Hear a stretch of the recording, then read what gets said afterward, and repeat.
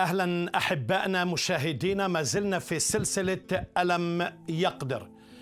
رح نشوف إنه يسوع اليوم يقدر أن يطهر البرص النجسين.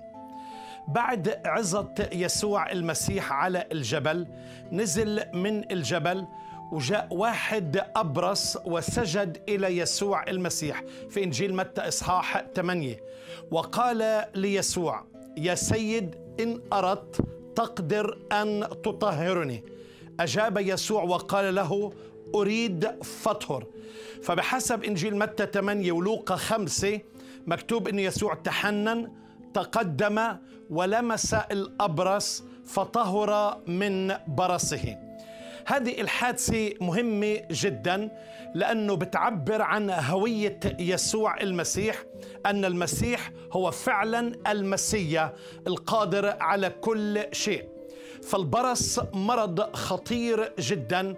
بتتكلم عنه شريعة موسى في سفر اللاويين بإسهاب تام عن أنواع البرص مش بس الجسدي حتى في الخيمة أو في العيلة لأنه مرض معدي. يعني هذا المرض خطير على الشخص نفسه وخطير على الآخرين.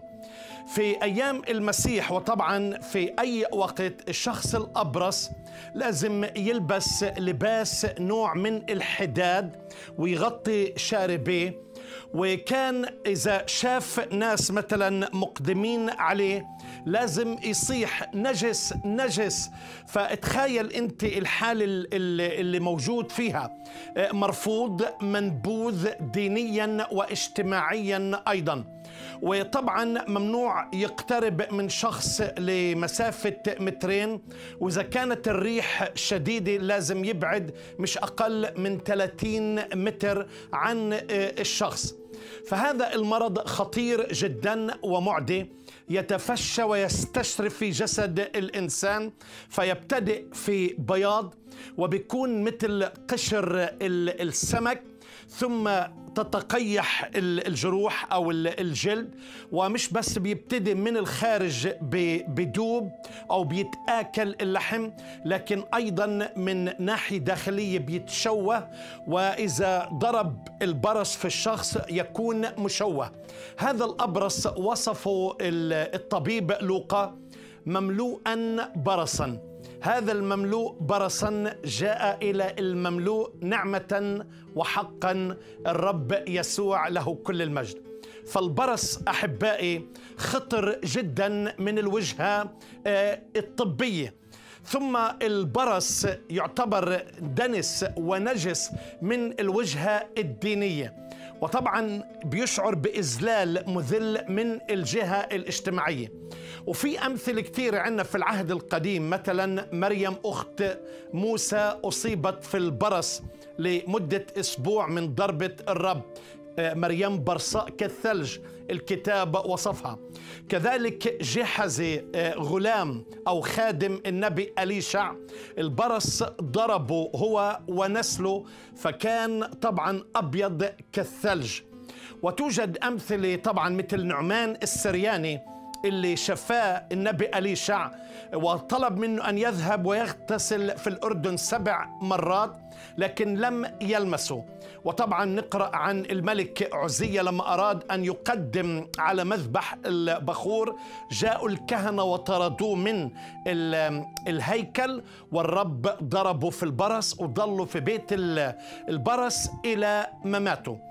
العهد الجديد بيتكلم عن البرص اللي الرب يسوع شفاهم عشر برص وهذا الأبرص اللي جاء ليسوع المسيح. لاحظ قال يا سيد إن أردت. فالمسيح له الإرادة على الشفاء قال له أريد. ثم المسيح له الرغبة في الشفاء قال له فطهر ثم المسيح له القدرة على الشفاء لأنه القادر على كل شيء. شفاء جسدي وشفاء أيضا نفسي وشفاء اجتماعيا أمام الناس. النبي إشعياء وصف هذا المرض في حالة الخطية التي تصيب الإنسان من أسفل القدم إلى هامة الرأس فيتنجس الإنسان بالخطية. لكن المسيح القادر يستطيع أن يطهر كل نجاسة وكل خطية عندما تأتي وتقول اغسلني كثيرا ومن خطي ومن إثمي طهرني. عندما تأتي إلى الرب يستطيع أن يطهرك من نجاسة الخطية اللي شعرت فيها بالذل وشعرت فيها بقهر وعبودية وشعرت فيها بإحباط وشعرت فيها يعني بالرفض والترك وشعرت بالنبذ بسبب خطيتك. لكن عندما تأتي إلى يسوع المسيح يقدر أن يطهرك إلى التمام.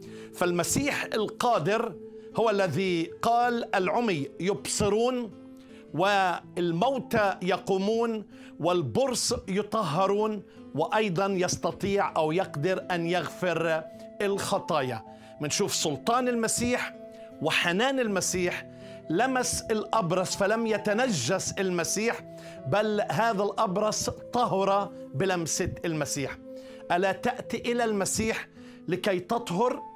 وتتمتع بالغفران الإلهي والرب يحررك من كل خطية. صلاتي اليوم إنك تاخذ هذه الخطوة في حياتك. الرب يباركك.